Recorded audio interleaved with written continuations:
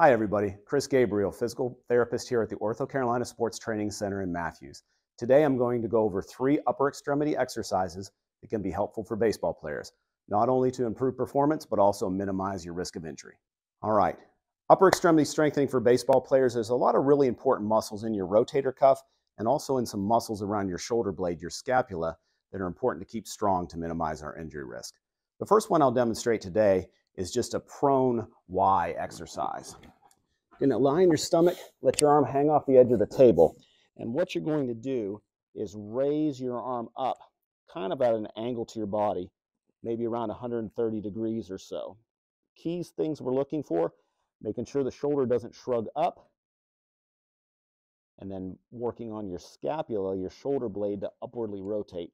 Sometimes it'll take you a little while till you can go high enough Make sure you don't go higher to the point you have any pain or pinching in your shoulder.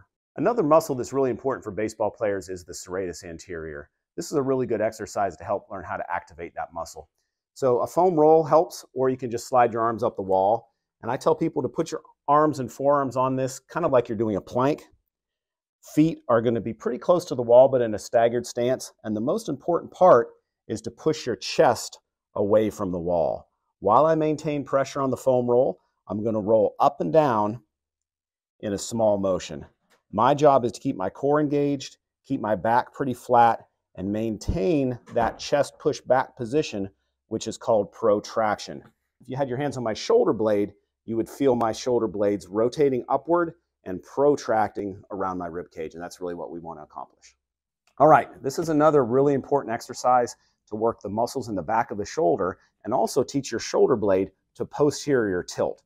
A lot of times during the day, we sit in our shoulder blades in an anterior tilted position.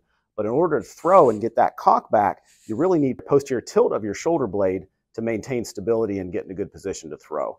So basically what you can do is lean on the table, fist on the forehead, and the arm is just slightly above shoulder level. And you're going to rotate back and forth just like this. Coaching cues are to make sure you don't fire your upper trap and get too much activation there. And remember, only go as far back as you can. A lot of people need to do some soft tissue work to loosen up their pec a little bit in order to get to that position.